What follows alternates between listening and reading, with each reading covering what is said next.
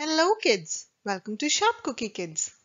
This story teaches us that we shouldn't be too much worried about what other people think of us. And the story is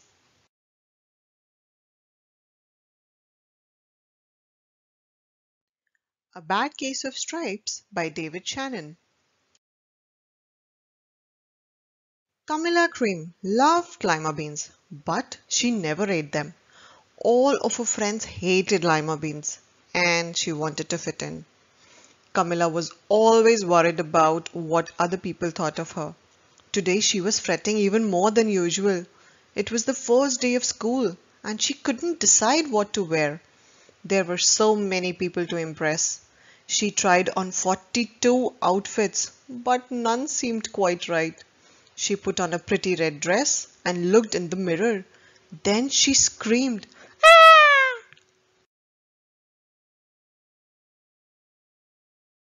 Her mother ran into the room and she screamed too. Oh my heavens! she cried. You are completely covered with stripes.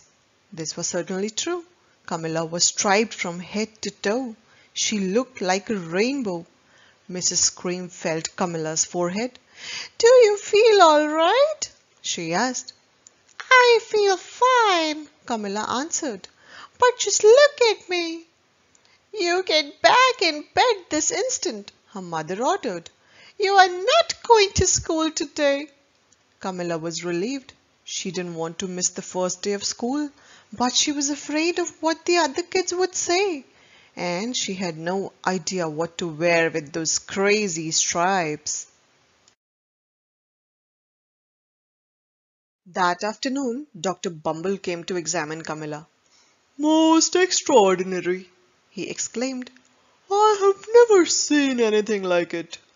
Are you having any coughing, sneezing, runny nose, aches, pains, chills, hot flashes, dizziness, drowsiness, shortness of breath, or uncontrollable twitching?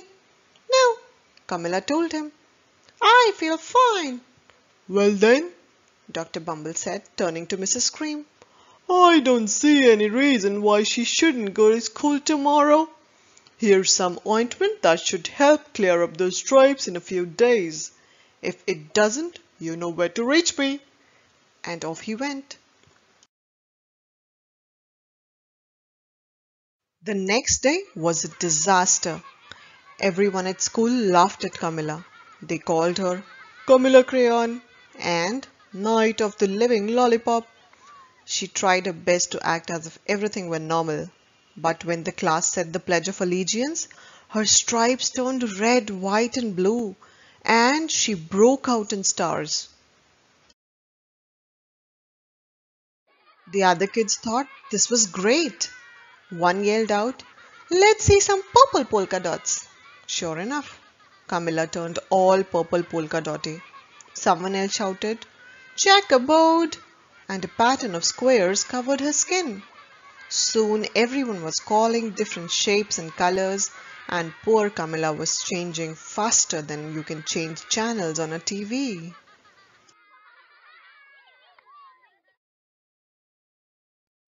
That night, Mr. Harms, the school principal, called.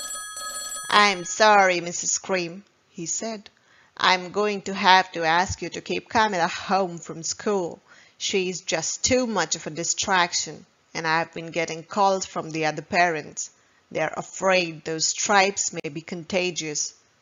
Camilla was so embarrassed. She couldn't believe that two days ago everyone liked her. Now nobody wanted to be in the same room with her. Her father tried to make her feel better. Is there anything I can get you, sweetheart? he asked. No, thank you, sighed Camilla. What she really wanted was a nice plate of lima beans, but she had been laughed at enough for one day. Hmm, well, yes, I see, Dr. Bumble mumbled when Mr. Cream phoned the next day. I think I would better bring in the specialists. We'll be right over. About an hour later, Dr. Bumble arrived with four people in long white coats. He introduced them to the Creams. This is Dr. Grubb, Dr. Sponge, Dr. Cricket, and Dr. Young. Then the specialists went to work on Camilla.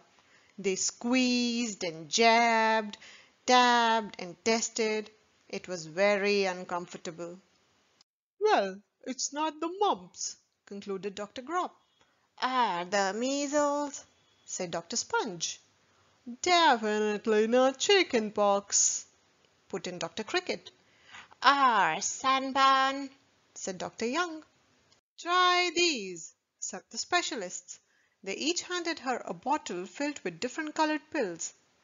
Take one of each before bed, said Dr. Grubb.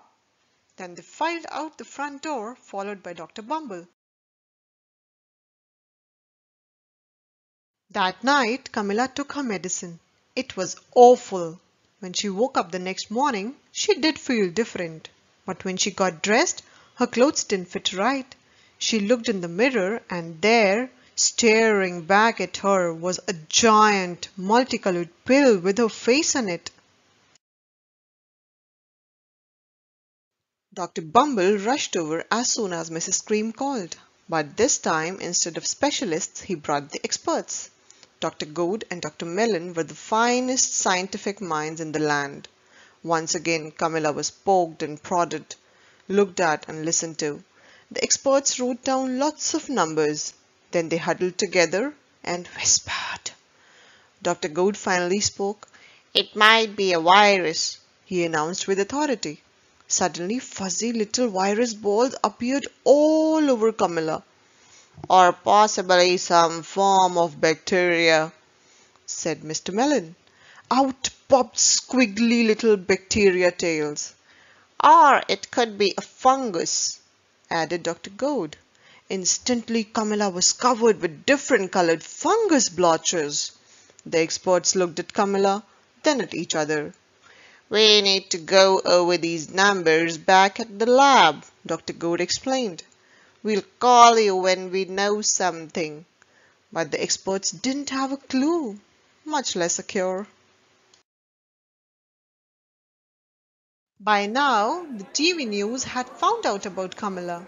Reporters from every channel were outside her house, telling the story of the bizarre case of incredible changing kid.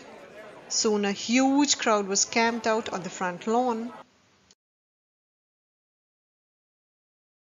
The creams were swarmed with all kinds of remedies from psychologists, allergists, herbalists, nutritionists, psychics, an old medicine man, a guru, and even a veterinarian. Each so-called cure only added to poor Camilla's strange appearance until it was hard to even recognize her. She sprouted roots and berries and crystals and feathers and a long furry tail, but nothing worked. One day, a woman who called herself an environmental therapist claimed she could cure Camilla. Close your eyes, she said. Breathe deeply and become one with your room. I wish you hadn't said that, Camilla groaned. Slowly she started to melt into the walls of her room. Her bed became her mouth, her nose was a dresser, and the two paintings were her eyes. The therapist screamed and ran from the house. What are we going to do? cried Mrs. Cream. It just keeps getting worse and worse. She began to sob.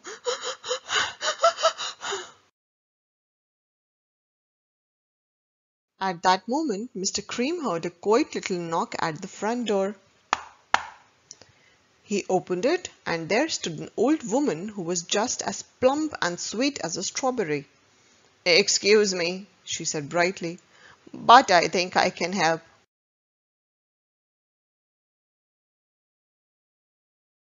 She went into Camilla's room and looked around. My goodness, she said with a shake of her head. What we have here is a bad case of stripes, one of the worst I have ever seen. She pulled a container of small green beans from her bag. Here, she said, these might do the trick. Are those magic beans? asked Mrs. Cream. Oh my, no, replied the kind old woman. There is no such thing. These are just plain old lima beans. I'll bet you would like some, wouldn't you? she asked Camilla. Camilla wanted a big heaping plateful of lima beans more than just about anything, but she was still afraid to admit it. Yuck, she said. No one likes lima beans, especially me. Oh dear, the old woman said sadly. I guess I was wrong about you. She put the beans back in her bag and started toward the door. Camilla watched the old woman walk away. Those beans would taste so good, and being laughed at for eating them was nothing compared to what she had been going through. She finally couldn't stand it. Wait, she cried. The truth is, I really love lima beans. I thought so, the old woman said with a smile. She took a handful of beans and popped them into Camilla's mouth. Mm, mm, mm, said Camilla.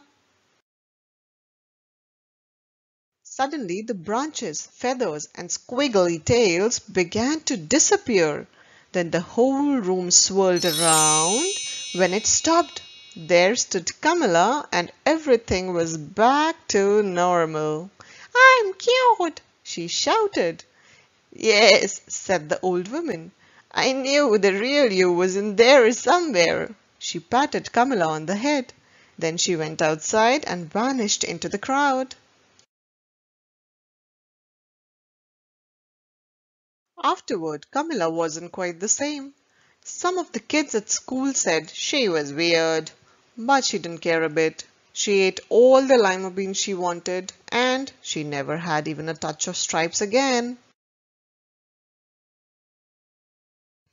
If you liked the story and you want more such stories, then click to subscribe.